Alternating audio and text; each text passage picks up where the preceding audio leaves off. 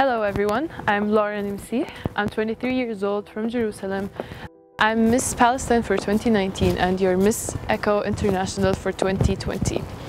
I am a social media influencer with almost 170,000 followers on my Instagram, where I share things about women empowerment and discuss social and environmental issues.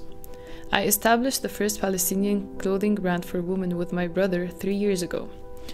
Not only we design and manufacture textiles, we deliver various messages through fashion and highlight important topics like gender equality and the inner beauty of women.